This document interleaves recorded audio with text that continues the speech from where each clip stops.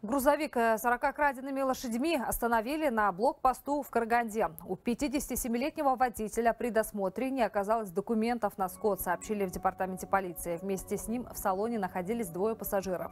Расследование продолжилось интересным способом.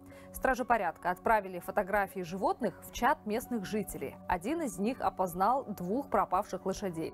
Позже выяснилось, что табун планировали доставить на продажу в город из зимового Коктугайского района, но скотокрады его перехватили. По факту кражи возбуждено уголовное дело.